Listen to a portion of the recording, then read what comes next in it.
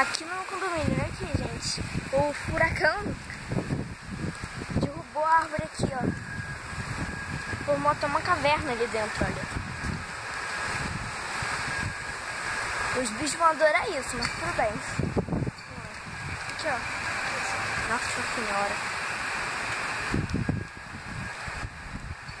E olha que essa árvore não é leve, não.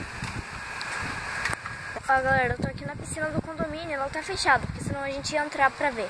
Mas, aqui, ela tá fechada, galera.